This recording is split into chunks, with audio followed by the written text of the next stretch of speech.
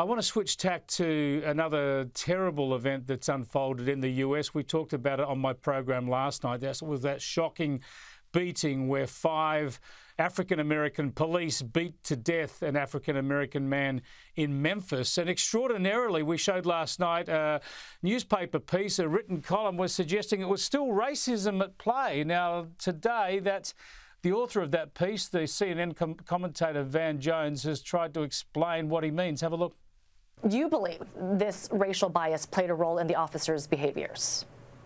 Yeah, I, I do because, um, first of all, uh, uh, black people are at risk from police no matter what color. Uh, black, white, brown, you talk to African Americans, they'll tell you um, it, it, doesn't matter. There's this per pervasive view from law enforcement that if you're black, you're dangerous. So, Kristin, we see from that that, of course, when African Americans are harmed by white police officers, that's white racism at play.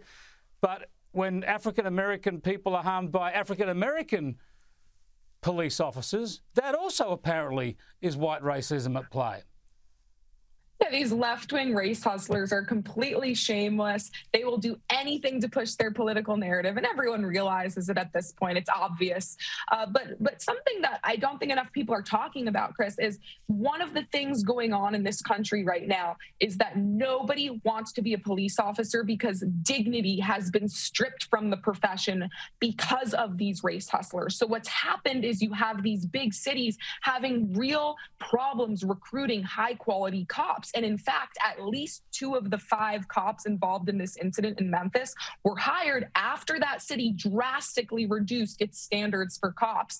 Uh, you don't even need an associate's degree anymore to, to become a cop in Memphis and many other cities. And that leads to lower quality candidates applying for these jobs and then a lower quality police force. Nobody wants to do this job anymore. You don't make that much money. You're putting yourself in harm's way every single day.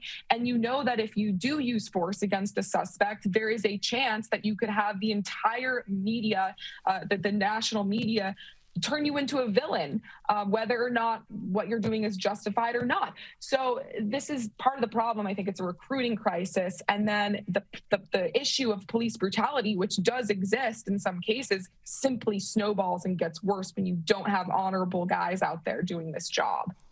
Yeah, the problem you would think is less about race or faith or the like. You want police officers who respect their people they're dealing with, and also you exactly. want police officers to have authority, the respect of the community.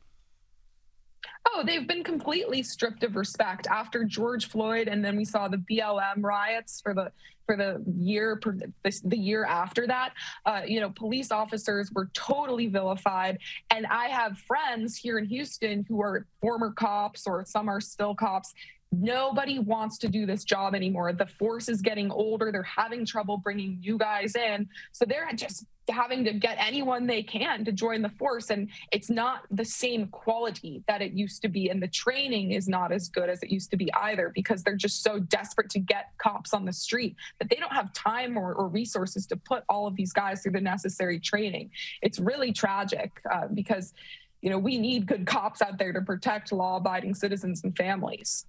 Sure do. Uh, another shocking incident and more work for the courts uh, to work through in the future. Thanks for joining us again, Kristin. Appreciate it.